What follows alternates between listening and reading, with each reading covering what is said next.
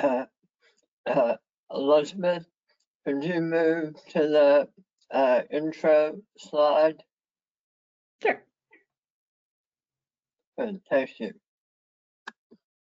Um, uh, welcome to the NFOSD Meet the Maker series.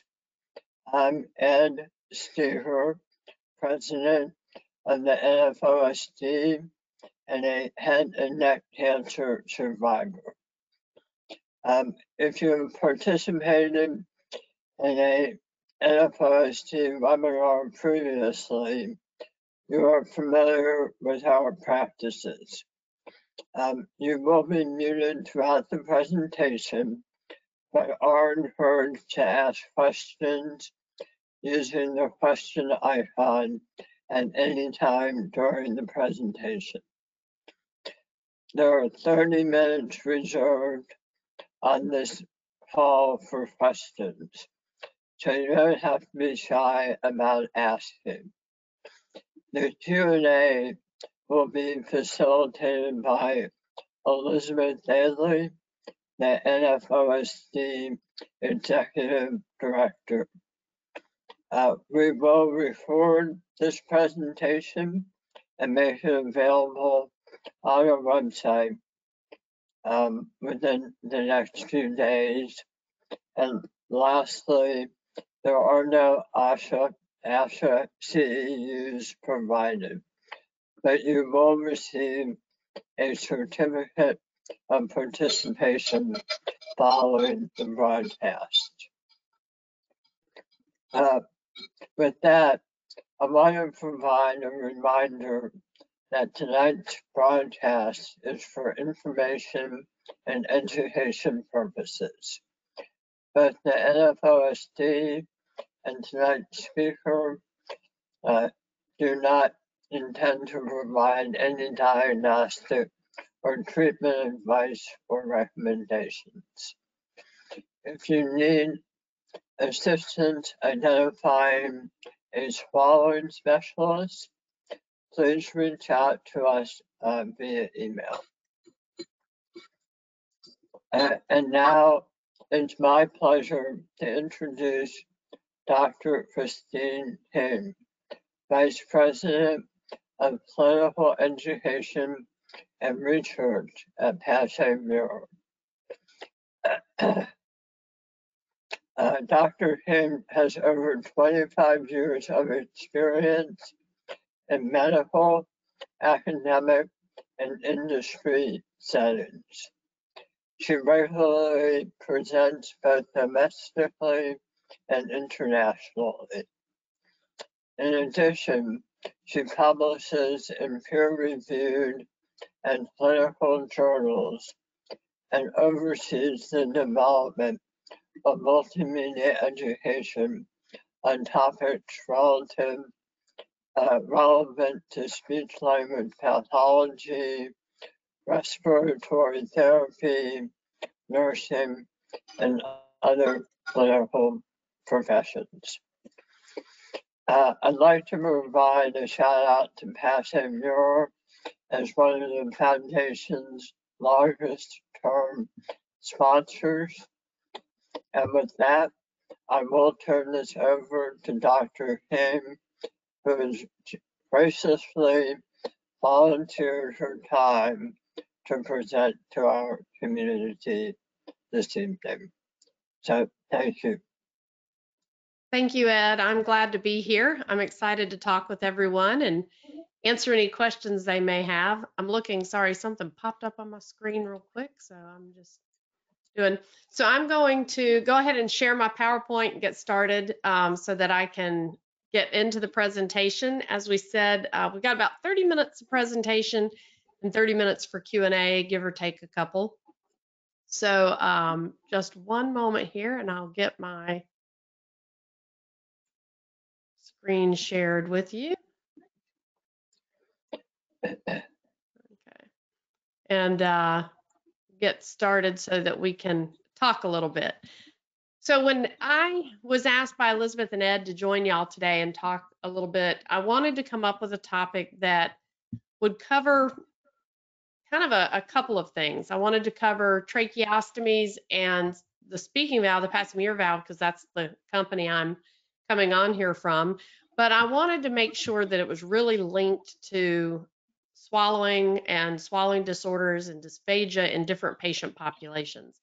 And so the information I'm actually going to talk about covers the age span from infants to adults. It, the points are for consideration for any age um, and really any diagnosis that has a tracheostomy and how that tracheostomy uh, may impact things.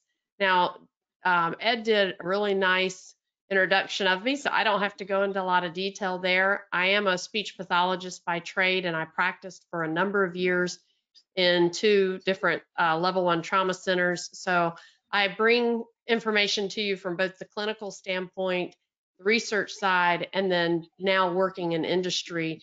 Um, and I'm happy if anybody has questions, I'm happy to talk with you about how, how I transitioned in that. But uh, I've got my contact information on the screen. I'll give it again at the end. I'm always happy to speak with you or to answer questions.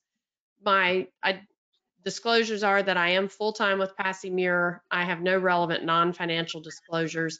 And I won't really speak to any other speaking valves during this um, talk, but if you have questions about a different type, feel free to ask. And if I can answer, I'll be happy to do so. If I cannot answer, then I'll try and find you a resource to help you out with that. I also have a disclosure which is right in line with what Ed already shared with you. The content of this webinar is for your general educational information. It should not replace your clinical judgment if you're a clinician or the judgment of the treating physicians or the healthcare professionals um, that are working with you. So it should not be considered medical advice. So let's go ahead and just jump right in so that we make sure we get all the content in. I first want to talk about just a tracheostomy itself.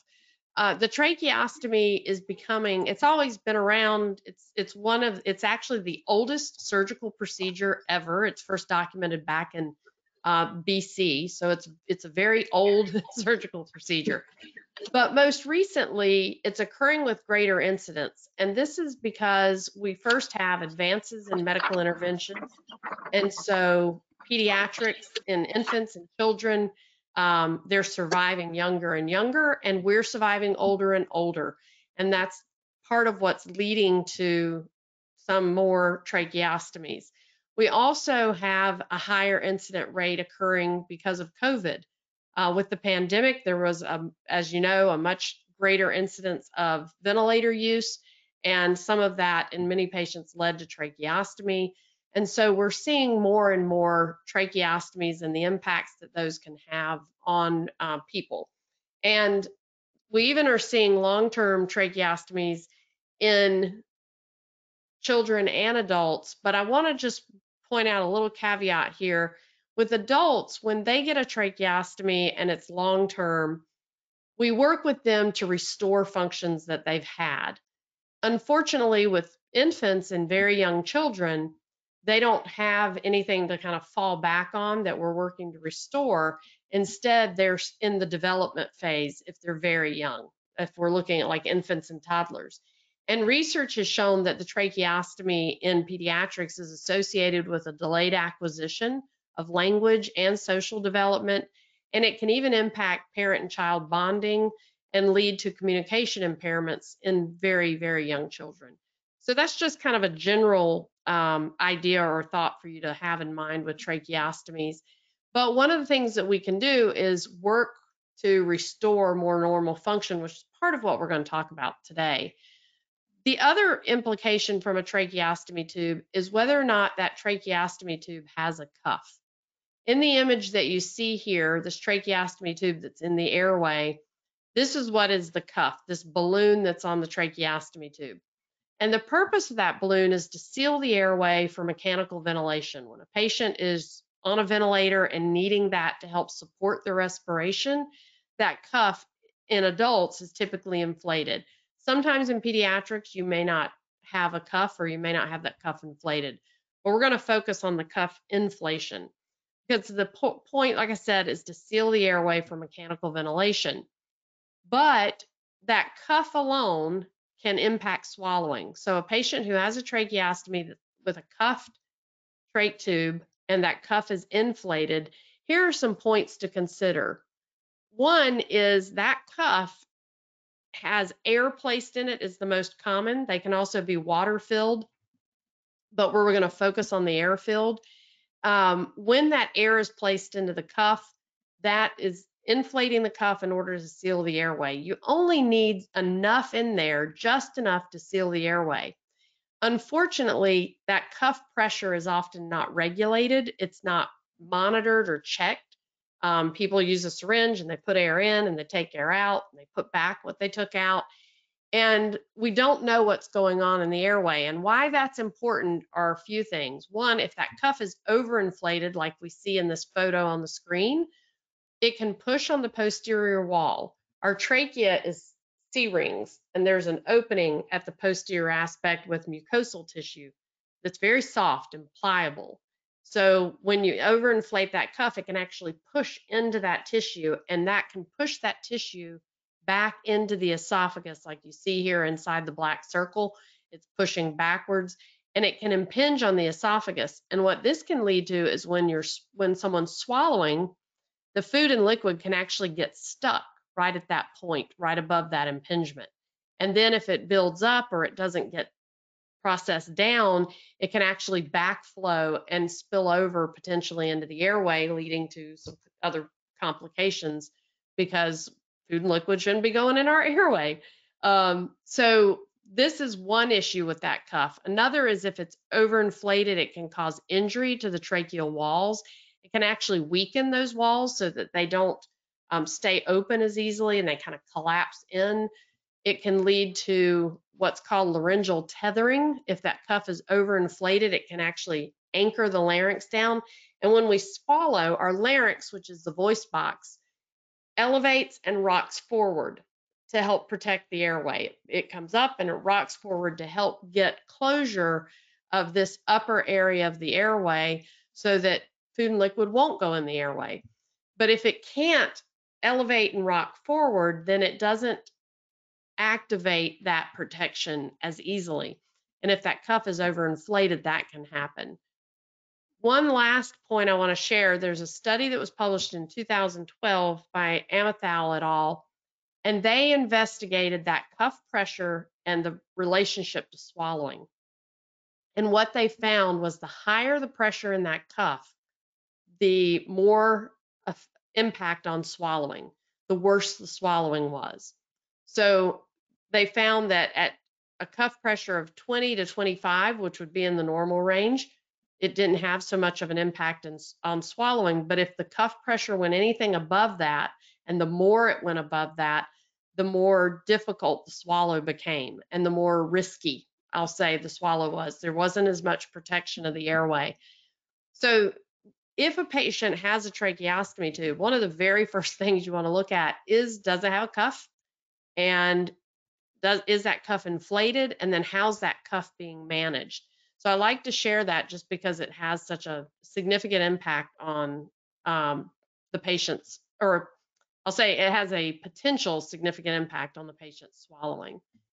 Then another factor about that cuff to be aware of is if you have a speaking valve or if someone's going to be evaluated for use of a speaking valve, then that cuff has to be deflated. Now, that does not matter what type of speaking valve. Um, at this point, I'm not talking brand, I'm just talking about any speaking valve. Anything being placed on the end of this tracheostomy tube here, um, what that's doing is it's redirecting airflow up to the mouth and nose. You can no longer exhale sufficiently out this trach tube. With a Passy-Muir valve that you see here in the image, 100% of exhalation has to be able to go up and out the mouth and nose if the valve is on. So you have to have that cuff deflated and you have to have space in this airway around that tracheostomy tube to allow that airflow. So that's just a couple of thoughts there about the cuff. Now let's get into a little bit more detail about the trachs and its effects on pressure and what we're looking at. When a patient has an open tracheostomy tube, this is what their speech can sound like. And now patients can sound all kinds of ways. An open trach tube, they may have no voicing. They can have limited voicing, they can have a pretty strong voice, but I'm going to talk about her voice after you listen to this. I do apologize ahead when we did a practice run just beforehand. The sound on the video is a little hard to hear, so just if you can, you know, listen carefully or cut out extraneous noise. But here's this video real quick. So this is a patient with an open trach tube, no speaking valve on, and the cuff is deflated. So this is Mrs. Duval with her valve off. Mrs. Duval, would you like to try to say something? I knew that I could not communicate with my friend. So I could make the music. Right. One of the things you may notice, she can't get a whole lot out at a time. As she's trying to speak, there she's short of breath. She can only get one or two words out, sometimes only a syllable, and then her voice kind of fades away. This is pressure related. She doesn't have the breath support, the pressure behind that breath to help keep her voice strong and going. That's because she's got air coming out her mouth and nose, and air is escaping out the tracheostomy tube.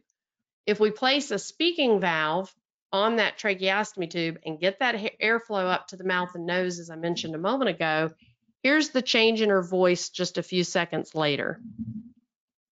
So this is Mrs. Duval with her valve on. Now let's hear you talk now. And now they understand everything I'm saying. Yeah, it's much better, We isn't we can it? talk much better, yes. Yeah. And how about talking with your doctor?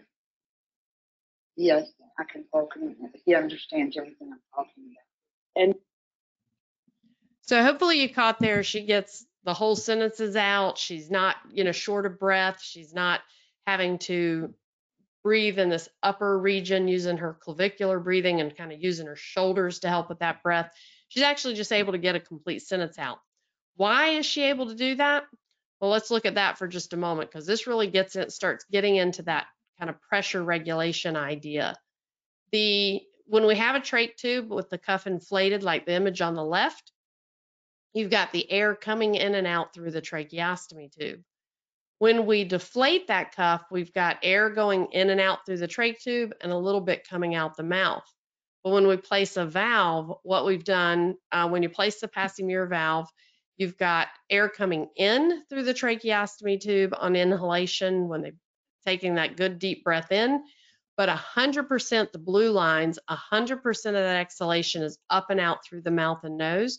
So we, we've restored the more normal flow of air through the voice box, through the vocal folds to help with that voicing and to help sustain the breath support that's needed for speech. Now let's get a little bit into why that happens and what all this means from a swallowing standpoint. When the you use the valve, and I've got a picture of it here in the upper right hand corner, the valve is what's called bias closed, no leak. It only opens on inspiration and it automatically closes at the inspirate at the end of inspiration which is what redirects that airflow to the upper airway. So for a patient to use it the first thing we do is we want to assess their airway patency make sure they can get air around that trach tube and up and out through the mouth and nose if a patient has an obstruction they have something that's occluding that upper airway obstructing the upper airway you may see this um, with a lot of swelling, tumors, uh, granulation tissue, that tracheomalacia, the weakened tracheal walls, if they're collapsing in, anything up there that's obstructing the airway and they can't exhale out the mouth and nose, they're not a speaking valve candidate. But if we can get that airflow around the trach tube and up and out through the mouth and nose, then we can look at using a speaking valve. The advantage to doing so is that once we close that system, meaning we have put something on that trach tube and we're redirecting air up and out the mouth and nose, we're restoring a more normal system. It's not 100% because they're still using the trach tube, but we're getting that airflow up to the mouth and nose. Then we can make our assessment and treatment plans just like we would for any other patient, whether they have a trach tube or not. And so we're wanting to restore that more normal function. And the reason we do is if they have an open trach tube, they have reduced airflow to the upper airway. There's reduced positive airway pressure, which is the air, that's the pressure needed to keep the lungs inflated well. And we have a reduction in the pressurized system. Our bodies are a pressurized system. We use pressure for everything. We have pressure behind our breast support to help with speech. Pressure is involved in swallowing to help move food and liquid through our oral cavity and through our pharynx and through our esophagus down to our stomachs. We have pressure involved in our thoracic and abdominal cavities to help us sit upright and hold ourselves in a nice posture. We use um, the pressurized the pressure in our uh, bodies to help balance when we're trying to be mobile or if you're just trying to sit upright, or if you're trying to learn to transfer like bed to chair, all of these are pressure driven. Not only are those pressure driven, but so is even the ability like to go to the bathroom and have bowel movements. You need pressure to help bear down. You need pressure to be able to pick things up and lift. So pressure is is essential to a lot of functions that we have. And that open trach tube you don't have those pressures because air is just constantly leaking out the trach tube. So that can negatively affect all those things and more that I listed. If we can close that system, now we can have graded exhalation. Graded exhalation means you can control the air coming out your mouth and nose. This is what allows us to speak more quietly. It allows us to get louder because we can push more air out if we want. We're controlling that exhalation we're regulating it. That pressure regulation affects feeding and swallowing because it's pressure that helps drive the food and liquid back and down and through our esophagus. And like I said, posture and balance, upper extremity force and strength. So we want to restore some of, of those functions. Here's a quick video to show you, to start out with the respiratory, like I was talking about, to show how we need pressure in our lungs that helps with good gas exchange. It helps keep oxygen saturation levels where they need to be, and it decreases the risk of atelectasis. Atelectasis is a pretty common problem that develops in people with tracheostomies because their lungs aren't well ventilated, there's not enough pressure, and the alveoli are not being recruited into the breath. The alveoli are the little bitty sacs down in our lungs that help with that gas exchange. So this is a video of rabbit lungs that are on a ventilator. And if you look at these dark red areas, let me turn the sound down in case that is being heard.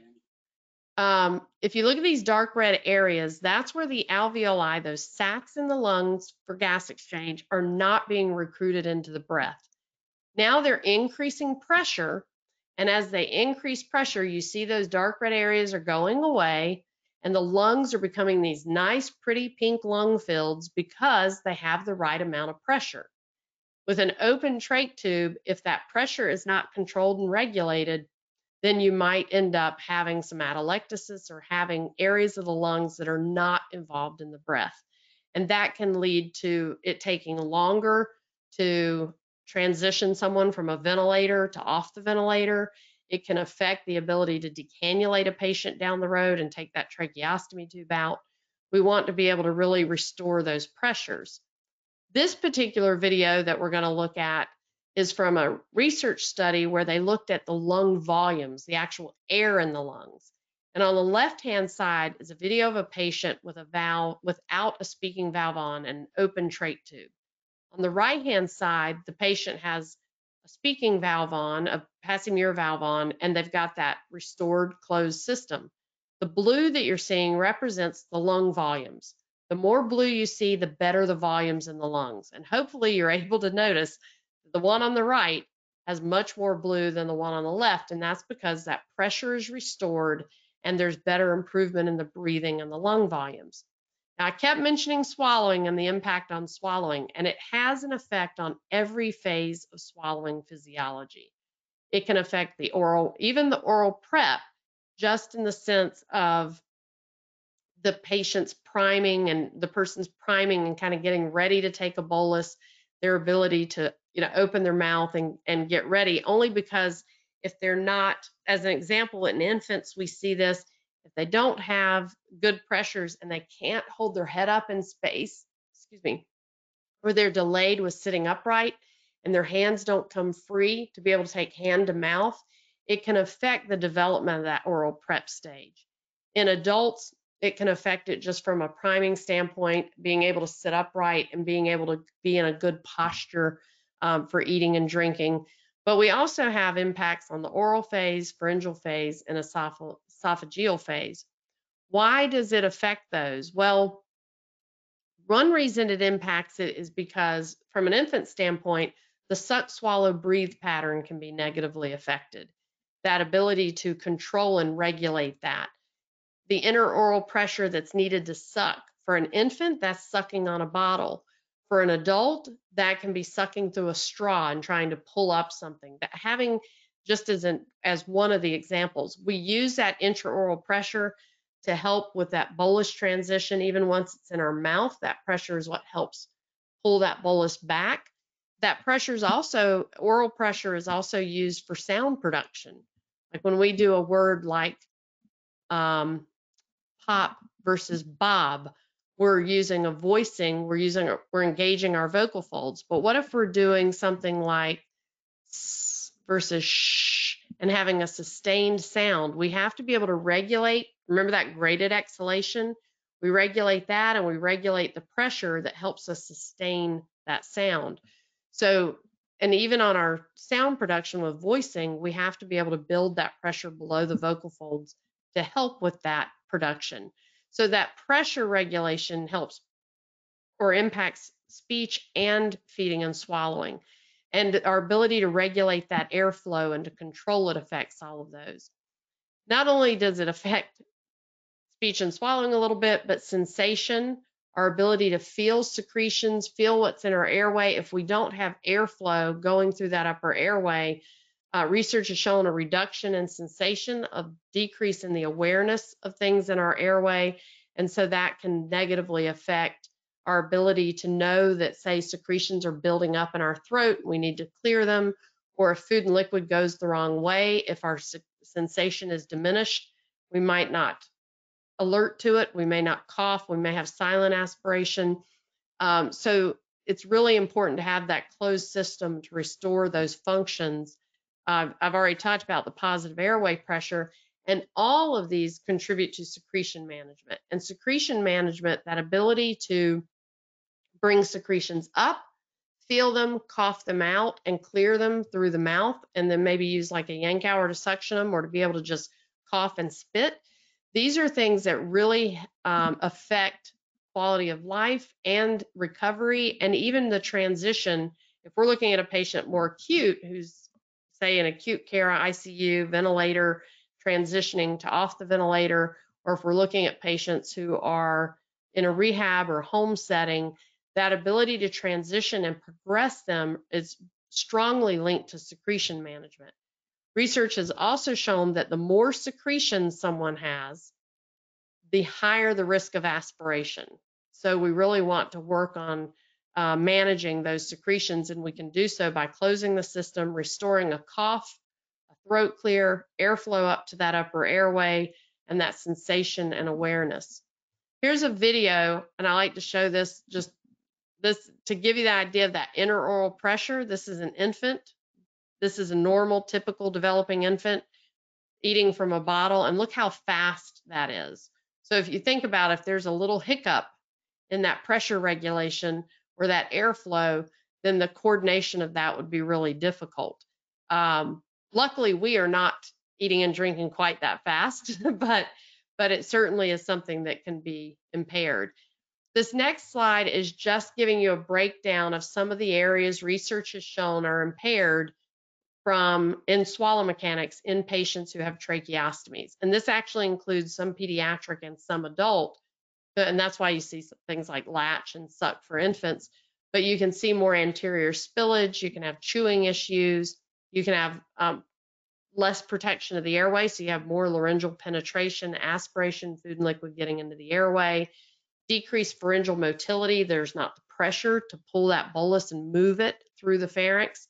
Um, then from an esophageal standpoint, again, the motility, which is that ability to move the food and liquid down through the esophagus can be impaired. But you can also have more instances of reflux. Um, they can have a higher risk of strictures and atresia developing where there's not the room for things to go through because of that um, decreased uh, pressurized system and that uh, not having the support really necessary to maintain the proper function of these different phases of the swallow. So that's just kind of highlighting a few of them. So I'm going to do, I know you've already, um, depending on which webinars you've watched, you may have seen some videos of swallow studies. I'm not going to teach about studies. I would just want to show this from a pressure standpoint. We've got two swallow studies here. The one on the left is the swallow study of a trach patient. You can see the trach here in the video. And we're looking to see if food and liquid, it should come straight down the back, right in front of the spinal cord. This is your spine, should come right here. We should not see anything move forward and come this way. This is an open tracheostomy tube, no speaking valve, so we've got those decreased pressures. And I'm gonna play this real quick.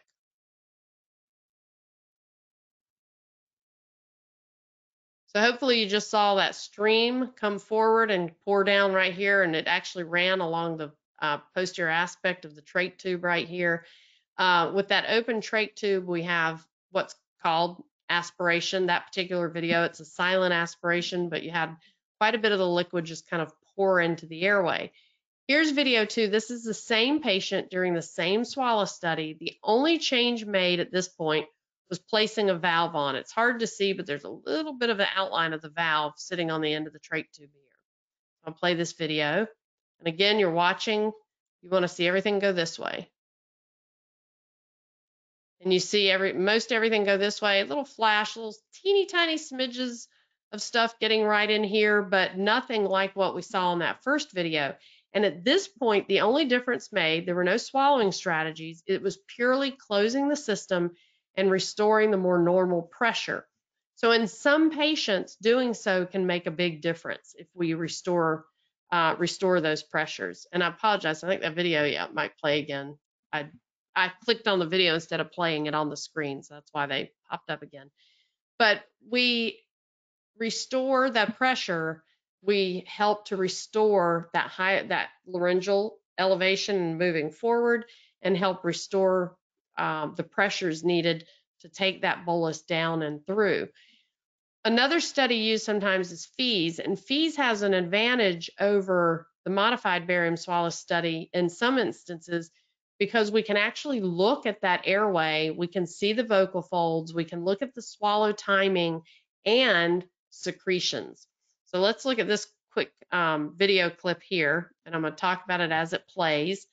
This is a difficult one to see. These, this is the airway, kind of, well, as it moves a little. The airway is kind of that dark hole right here in the portion of the screen. Look at all these secretions around. There are lots and lots of secretions. The clinician is having the patient swallow. There they just swallowed and nothing's happening with those secretions. This is with an open tracheostomy tube, not having the, the pressures needed for that pharyngeal motility to really push that bolus through. Then the valve was placed on during the same study and the patient was asked to swallow. And here is that same study, same patient. With, and after the valve was placed and the patient was asked to swallow, look at all those secretions have cleared out. And they've cleared out because of that pressure change, getting that pressure to help them drive that those secretions through into the upper esophagus and kind of get them out from around uh, that airway. So again, this is just some of that idea of that needing to have that pressure to help with swallowing. And as I mentioned to you, if we have that pressure, then this can lead towards decannulation uh, for patients who potentially have that. Now, in some diagnoses, they have to maintain a tracheostomy, but the decannulation, the removal of a tracheostomy tube is a team decision they often look at it occurring once the patient can use the upper airway to help sustain their ventilation. So getting the patient using that upper airway is a key piece of the decannulation. Um, and they start to show they don't have a need for other airway access. They don't need that tracheostomy tube. Some physicians even link swallowing to decannulation and they won't they don't want a patient to have that tracheostomy tube out until they can swallow somewhat efficiently. It doesn't have to be perfect, but they have to be able to have and and show that they can protect the airway uh, better. And so it's a really key element to getting a tracheostomy tube out. In pediatrics, there's the addition of things like a sleep study. They'll often look at that to make sure the child can sleep through the night without difficulty. And for both populations, adult and peds, um, they often want to cap the tracheostomy tube, usually longer than 24 hours, in order to see um, if the patient can breathe 100% of the time through the mouth and nose. Because a cap is solid. So, where a speaking valve, you breathe in through the valve, out through the mouth and nose. A cap is solid, and you breathe 100% in and out the mouth and nose.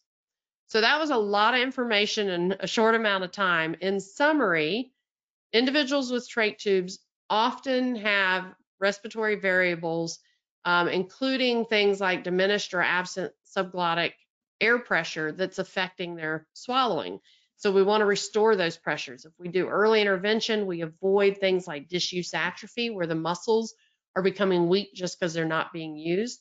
We improve sensation and secretion management, restore that pressurized system, which helps with intraoral pressure, subglottic pressure, the lung pressures, the respiratory pressures, even esophageal pressure is being shown. And it improves phonation, postural control. So we're really getting that pressurized system re-engaged to help with a whole lot of um, functions. So like I said, a lot of information in a short amount of time. Um, take This will be in the recording, but take a screenshot of this or if you've got your phone, snap a quick shot. If you want additional education, there's a lot of opportunities for free education. Um, we offer some live education. We have self-study that you can do on your own schedule, private webinars for facilities. We have some specialty workshops and seminars coming up through the end of 2023. So lots of opportunities for education on a range of topics to include courses focused on dysphagia, courses focused on how to use a speaking valve, um, ethics, all types of topics. And again, thank you. If you have any questions, um, my contact information again is on the screen. Feel free to get in touch. And I know we're going to have some Q&A now, Elizabeth, so um, happy to answer any questions y'all have.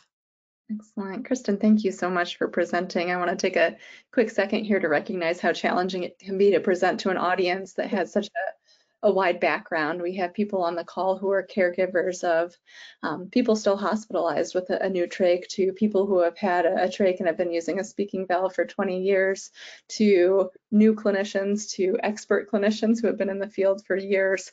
Um, and that makes it challenging to address um, everything that you've covered this evening. So thank you for doing that. I have a few questions here. I want to start with one that is swallowing related um, coming from a, a, caregiver, can you swallow while on the ventilator? So if you have a mechanical ventilator, are you able to swallow? Um, the answer, well, the short answer is yes. Um, patients who are on a ventilator are still swallowing, still have the function of swallow, unless they have a disease process or something going on um, in the brain that's making it impossible to swallow. So as an example, if there's something wrong at the brain stem, which really houses a lot of the control of swallowing, I mean, there can be other factors affecting it, but just a ventilator and just a tracheostomy tube, patients are still able to swallow. Um, it may not be pertinent to do that or to look at swallowing early because the challenge and the and the primary need at the time is their respiratory status. So once they're stable enough, then that's something usually the team would start to look at. Excellent, thank you. Uh, a question here from a speech pathologist. Once somebody has finished a meal who has the speaking valve on, should they take off the speaking valve? Um, actually, no, uh, not unless, I mean, if they're having difficulty, a lot of coughing, and they need a break potentially, but having the valve on is restoring pressure, it's restoring sensation, and it's allowing them to cough and throat clear. So if they uh, by chance have a little residue, a little bit of food and liquid kind of left in their throat, it can help to clear that. And or if they end up with reflux after the meal, it can help them have better sensation and actually potentially protect the airway better. So we actually recommend leaving the valve on um, after eating and drinking as long as their respiratory status, you know, and everything is appropriate for it. Excellent, thank you. I have an advocacy question here for you. Somebody who works in a hospital, um, the physician on the team recommends that the cuff stays inflated because it's safer, because it prevents aspiration. Could you address how to go about this? Oh, this is my nemesis, my soapbox. Um, so the cuff cannot and does not prevent aspiration. I had stopped sharing my screen, but I'm going to put it up and I'm going to show you why. That the physician needs education. Um, now, I will say if a patient has a high risk of a lot of reflux, a lot of um, emesis and vomiting, then having the cuff up can slow gastric contents from entering into the airway. So then that is something that might be um, beneficial. I think my, maybe my screen was, was it still, can you see my screen right now, Elizabeth? But now I see it. Mhm, Okay. So the reason I brought this up is the reason I say that the cuff cannot, I'll show you the left-hand image because the cuff is inflated. The vocal folds are right here. And the definition of aspiration is anything that passes the vocal folds. So the cuff is located well below the vocal folds. So there's no way for this to stop aspiration because it's already happened. Um, there's no way a cuff can prevent it because it passes the vocal folds. What they're probably thinking of is they're thinking that cuff is going to catch anything that goes past the vocal folds and it's going to sit right here. And that actually doesn't happen. Either some of it can if it's thicker and that type of thing, but the airway is dynamic. And as we breathe, our trachea expands and contracts around that cuff. And so we it opens the airway a little bit and closes back up. And usually there's um, aspiration occurring around that cuff. And that's been shown in research. The only thing that it can really do is stop that gross dumping of gastric contents into the stomach, I mean, into the lungs. Um, but stopping aspiration isn't isn't going to happen. But if you have someone who's really at high high risk, then it it may be worth keeping the cuff up. Excellent, thank you for addressing that. This next question here, before I ask it, I just wanted to highlight that there's three handouts that are attached to your toolbar um, that you have graciously shared with us, and you're welcome to download those. But this next question here is asking if you could highlight the difference between the greenish and the purple speaking valve. Sure. Um, the only difference, they function the exact same way. The only differences are the color of them and the shape of them. The aqua valve, the one that's kind of greenish that you mentioned, is the one that is designed, it's a little bit longer and skinnier, and it's designed to fit in line with ventilator circuitry. Um, it goes very easily into the tubing and is easy to adapt and be used with mechanical ventilation. However, it can be used off the ventilator or on the ventilator. It does not have to be, excuse me, used with a ventilator. Um, I actually have one sitting right here. So this one's the one you're talking about, the kind of greenish one. The purple one is um, functions the exact same way. It's just shaped a little differently and it's colored purple. And why is it purple? Because that is the company color. There's no other reason. Um, the company just, that was the company color and they like that color. And so we have a purple valve. Excellent. Could you explain a little more how the one-way valve works? Is it like a screen where air comes through it, or does it go around the outside?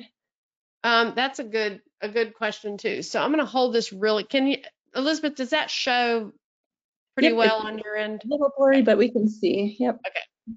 So on all the valves have the pie-shaped areas. You see the little pie-shaped. I don't know why I can't keep that in front of the camera. The little pie-shaped openings, and behind that is a little frosted di- kind of diaphragm. That frosted diaphragm is in a closed position. When you pick up a valve, it is closed. The diaphragm is in a closed position. It only opens once it's put on a patient and they breathe in.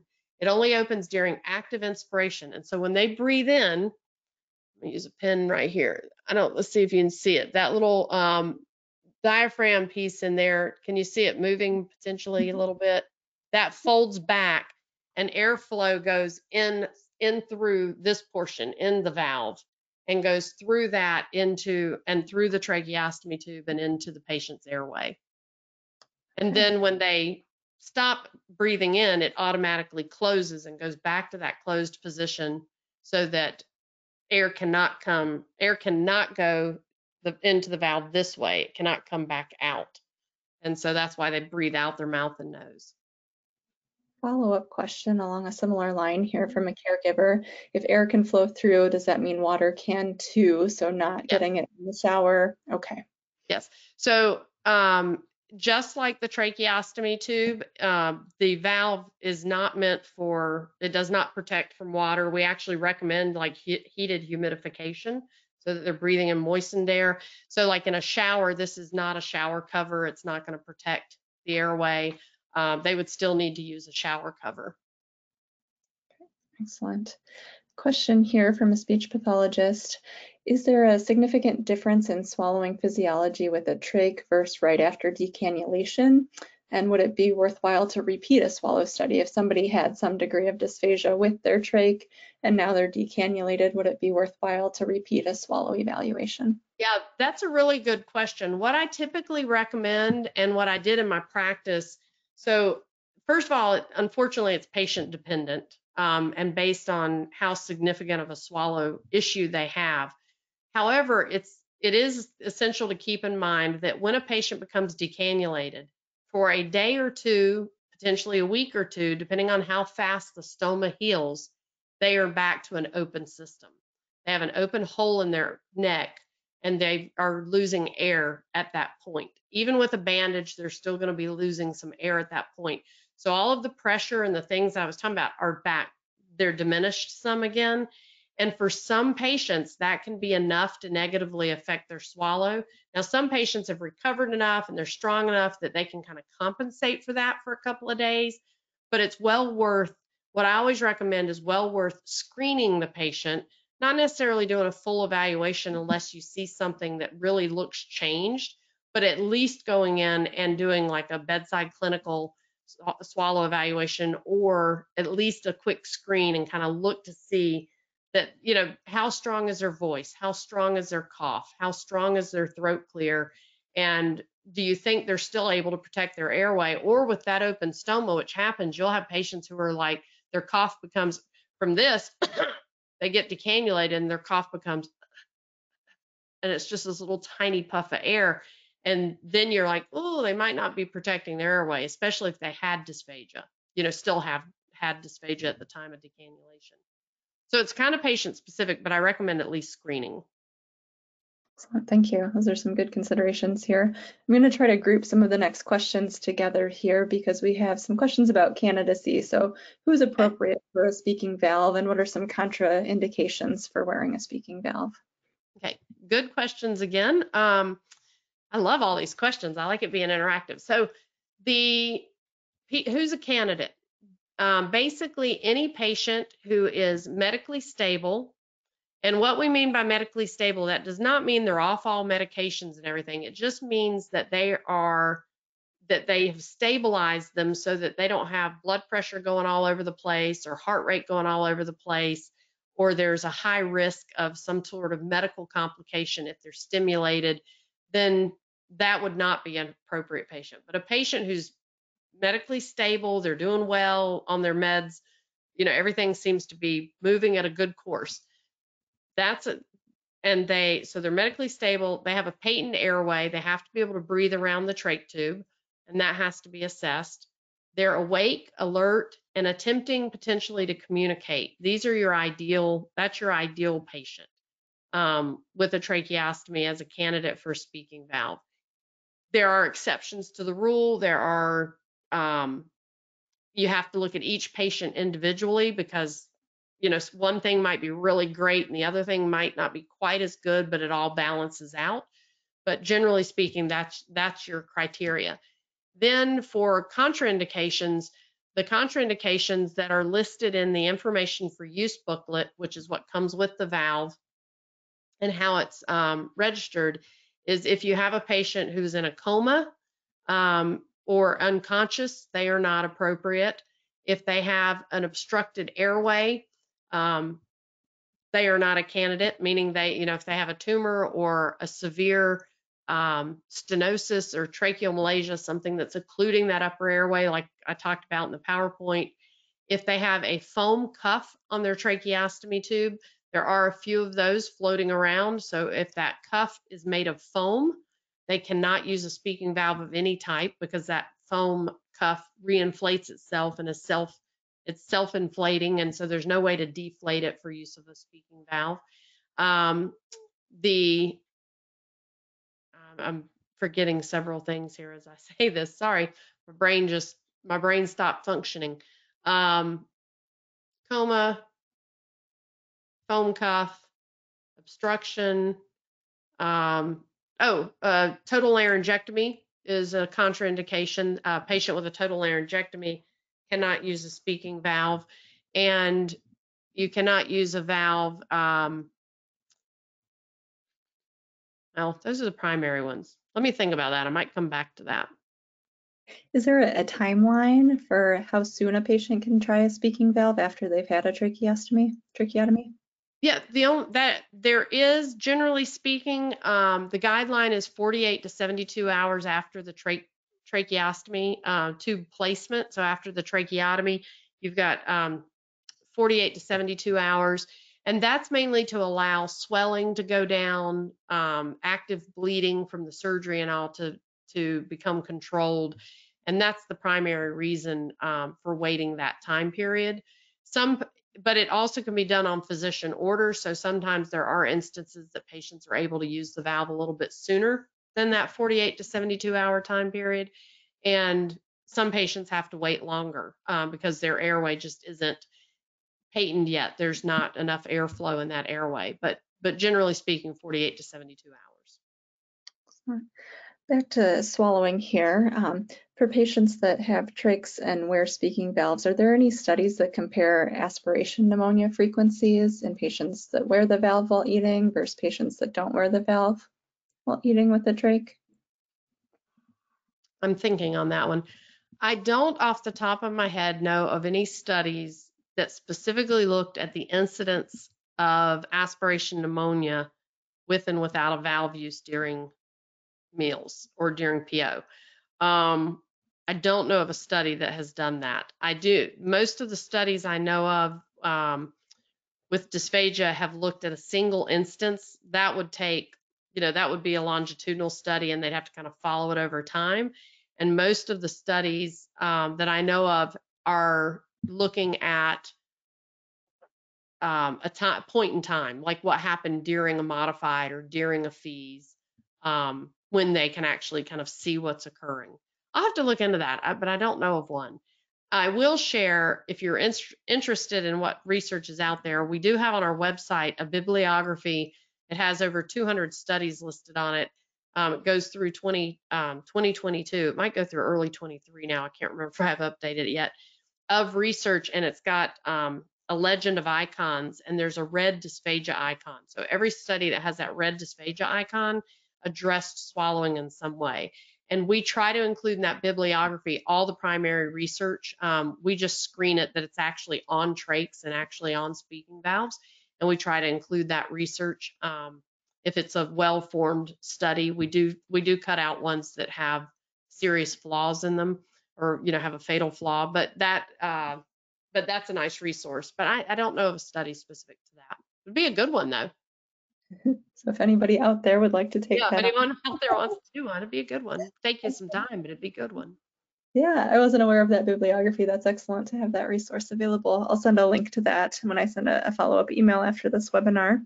We have so many questions here, Kristen, and I want to be mindful of your time. So I'm going to go back quick to the um, question that we had about contraindications. People are wondering if excessive secretions is a contraindication or not.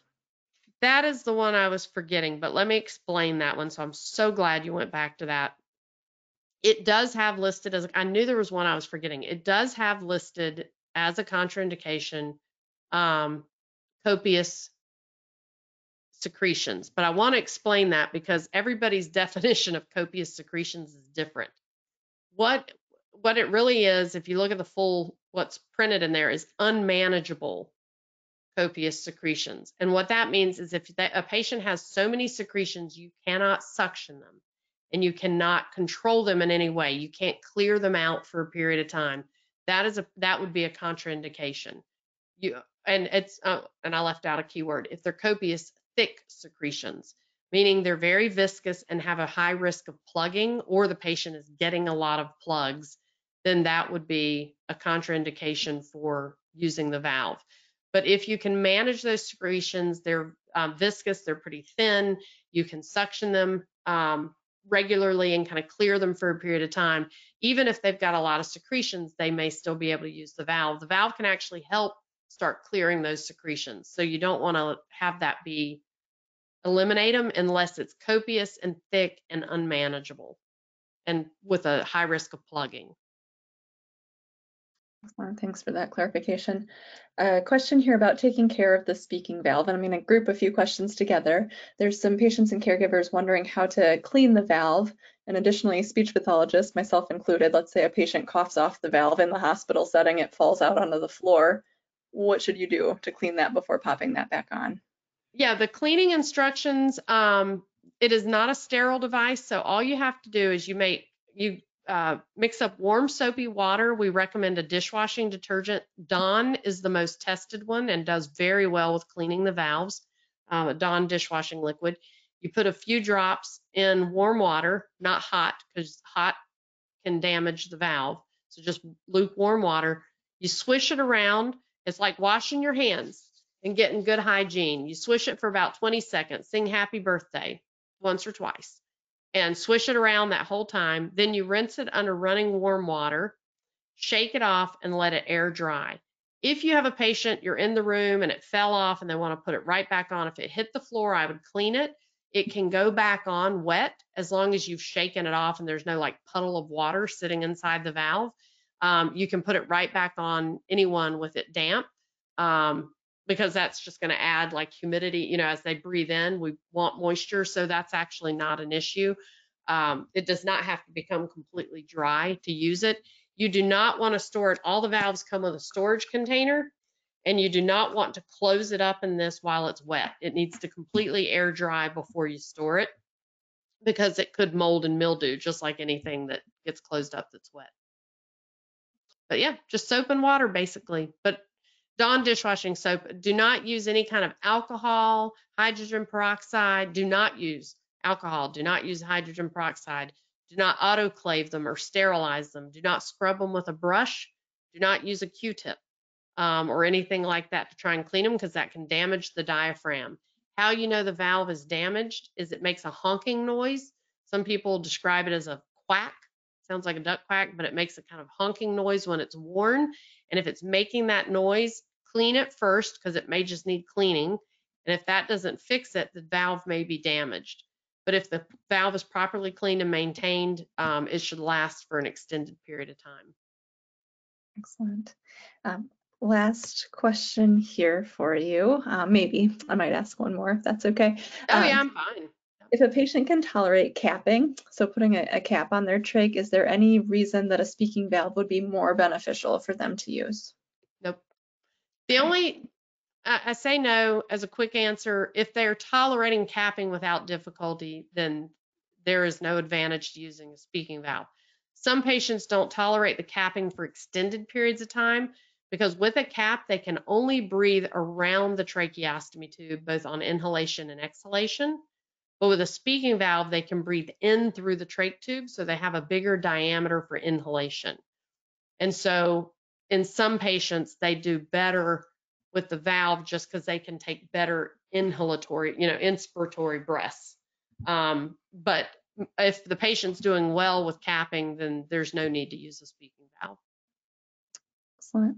Kristen, I just want to give you a second to brag about Passy-Muir's customer service. If a clinician is working with a patient and has a question about the speaking valve or trachs, how to use it or they can't get it to work, can they contact you and what's the response usually like? Yeah, I'm so glad you asked because um, yes, we have Monday through Friday. We offer um, we have a phone line you can call in. We have clinicians. I was going to say live clinicians, but hopefully they're alive if they're talking to you on the phone. But it's not recordings. They put you through to a clinician. It would be either a respiratory therapist, a licensed respiratory therapist, or a or a certified speech language pathologist. We take the call and we walk you through, answer, do the best, you know, help you with whatever your question is. Oftentimes that requires follow up But, um, but yeah, we're available Monday through Fri- Friday, um, during work hours for phone calls. Now we're, most of them are on Eastern time. We have one person on Central, one person on Mountain. So we try to, we kind of cover the hours. We cover, we cover a good bit of hours. Thanks. One final question here. Um, I know I said that twice now already.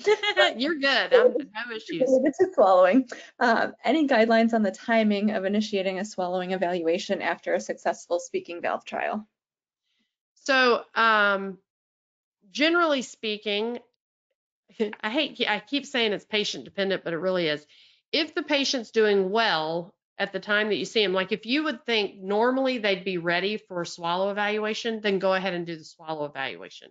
So what I mean is the valve just kind of closes the system. And if all things look good and look like if you're looking at that patient going, wow, I think swallowing should be looked at, then swallowing should probably be looked at. Um, you can do it the same day. You can do it in the same session. You can assess and place a valve and do the swallowing immediately following if they're tolerating and doing well, you know, with the valve and they have good airflow up to the upper airway. So, and you can also, I want to make sure to, to clarify this, patients do not have to have a valve in order to eat and drink. Um, ideally, we restore that system, but you do have patients who are able to eat and drink without a speaking valve. And so you want to look at both when you evaluate them, whether it's a modified or a FEES, evaluate them with a valve on and with a valve off to see if they have to have that restriction on them. Um, some patients are able to protect their airway without a speaking valve, but ideally you want to restore that normalized system and the cough and throat clear and the pressures and have them using a valve. But, but yeah, you can do it immediately if they're tolerating the valve well if you know and they're alert and look like they should be eating and drinking. Wonderful. Excellent. Thank you for answering all of these Oh questions. yeah. Our audience is so engaged. I know there's questions that I did not get a chance to ask. If you have a question, please feel free to reach out to Dr. King directly, or you can reach out to the foundation and we will direct your questions to them, um, to Passy-Muir, to Dr. King. With that, Kristen, thank you so much for presenting. Oh, tonight. you're welcome. Yeah, and and to that again, my email was it's pretty easy because it was just kking at passymuir.com. And so feel free to yeah email any questions or anything like that that you have. I will send out a, an email here this evening that includes your contact information and some resources that you have shared. It will also include a really brief survey. It takes less than three minutes. It's a three question survey. We appreciate any feedback that you have and ideas on future topics as well. We have two presentations scheduled for August. August 16th is our next Meet the Maker where we'll be hosting AMP Care. And then at the end of August on the 30th, I believe there will be a, a TAD talk on um, Zenker's diverticulum. So we welcome you to, to join us for that. I'll be sending out more information. Um, and with that, Dr. King, thank you again for joining us this evening. I Oh, really appreciate it. Thank you so much for having me. And I have to tell you, because I, I love your, I know what it's a spinoff of, but I still love TAD Talk. Well, thank you. Appreciate it. I, I think, I that was a really cool idea to do these. But thank you everyone for joining. I really appreciate people getting on and and listening, and hopefully you got some tidbits that you can take and use. Yes, absolutely. All right, everybody, have a great evening. Thanks for joining us and hope to see you again soon. Take care. Thanks. Bye, Elizabeth. Thank you.